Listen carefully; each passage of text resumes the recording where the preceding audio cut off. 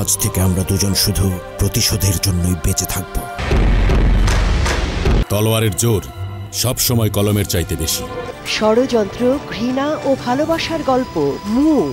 দেখবেন পনেরোই ফেব্রুয়ারি থেকে প্রতিদিন সন্ধে ছটা ত্রিশ মিনিট ও রাত দশটা ত্রিশ মিনিটে শুধুমাত্র একুশে টেলিভিশনে।